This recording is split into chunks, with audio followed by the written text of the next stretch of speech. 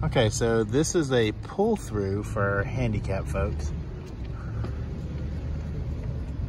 Looks like all the sites have electrical and water. There is no sewer hookup. It's a nice little pavilion and playground right there.